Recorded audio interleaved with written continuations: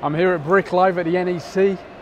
I'm technically here to try out the Fujifilm 60mm 2.4 macro, you know, macro, small, Lego small, but I've got a feeling I'm gonna get very distracted. Let's go check it out.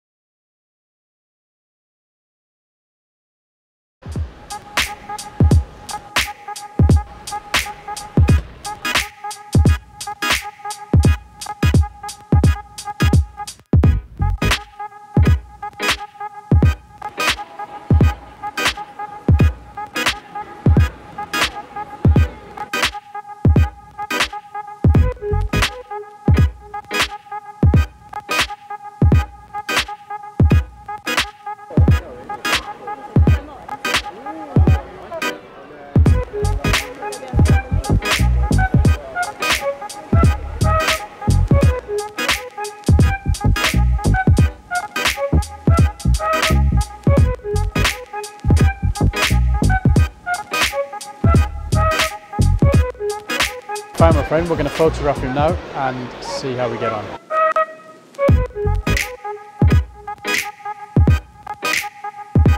So far, I'm not sure what I'm most excited about, this lens or the fact that there's some amazing, amazing Lego stuff here.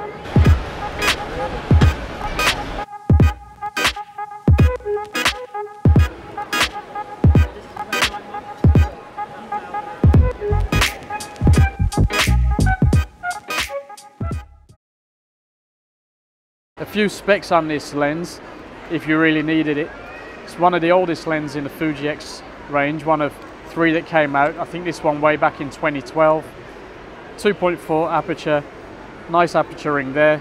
It's an R lens, nice metal, I think all metal.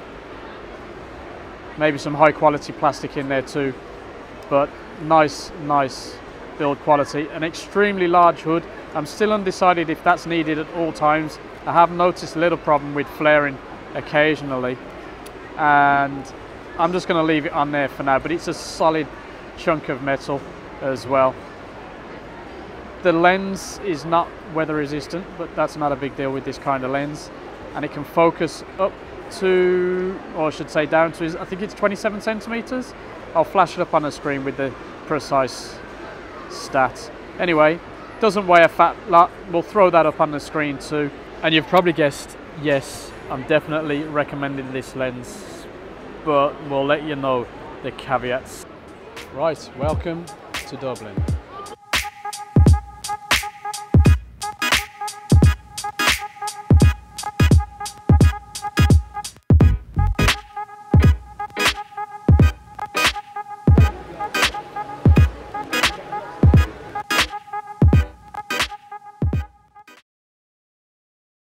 More than halfway through Brick Live, absolutely loving it. May have forgotten to show you more of the camera, but clearly you're seeing the stills. I think the bokeh is good. The autofocus is fine for what it is, but it's not fast as you imagine, even on the XT bodies, even on the newest firmwares. Let's carry on and try not to get too distracted by all the cool Lego.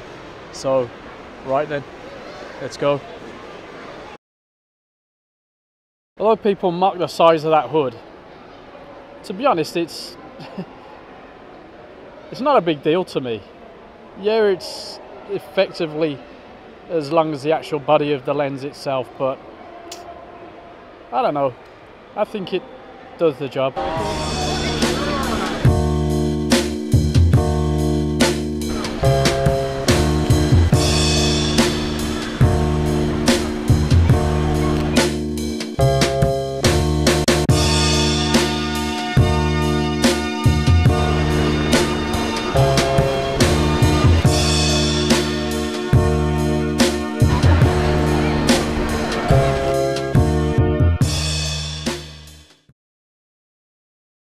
Well, I had a fantastic time at Brick Live. Technically, I was testing out this lens here. I'm going to let you know my thoughts as soon as my brain's calmed down. I've just overheard somebody saying something about wow factor. Yeah, they were on about the Lego. Did this lens have it? Give me a moment and I'll let you know.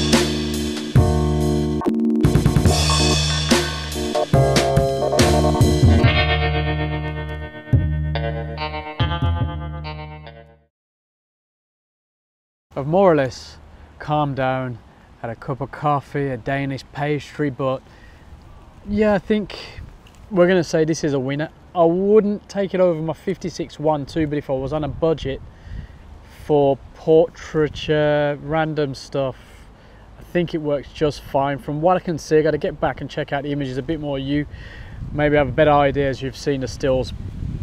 Should really do this bit afterwards. But the bokeh is nice. You can pick this up for a couple hundred pounds, few hundred pounds second hand because people think it's just not fast enough, but you can work with that. I mean, if I focus towards the table now, it's got it. Focus right into the distance, it's got it. And we're outdoors, so you're not going to hear it particularly well anyway, but put it right by the mic. You can barely hear it, so outdoors it doesn't really matter, to be honest. Indoors, would you use it? Yeah, it doesn't really creak away too badly. Clearly I'm a bit jaded from all this Lego now.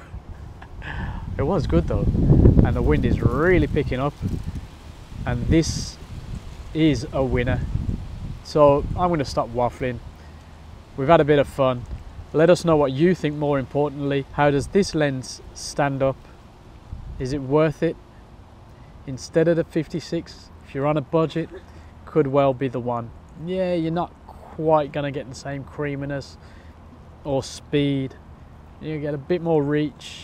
Mm, it's, it's a nice lens with a crazy big hood and a very weird filter. And actually, you'll see that that protrudes. bring it a bit closer and focus on it, you'll see it protrudes, but as you focus, it goes through the whole range. And so shoot there, point somewhere closer, and away. You can see just how far that comes out. It is quite comical really, but who cares? It just works. It's a strange cap, 39mm filter thread but again, doesn't really bother me, that sort of stuff.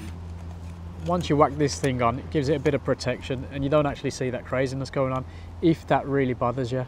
So there we go. Leave a comment, let us know what you think. Thanks for listening to me waffle. Get down to the Brick Live event if you can. If you're into Lego, if you got kids, definitely. They love it. A lot of people I spoke to were saying how it's therapeutic, how it just calms them down. We could always do with a bit of that take it easy, slow down the pace, use this lens. That's it. Same old outro, but this time with more tree.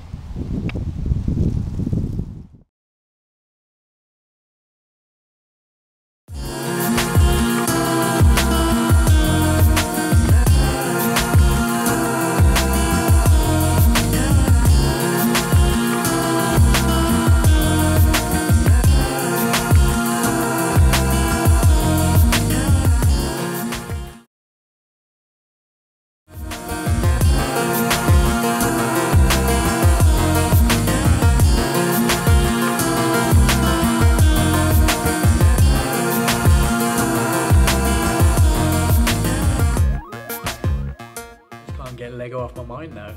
Oh Lego, what have you done to me?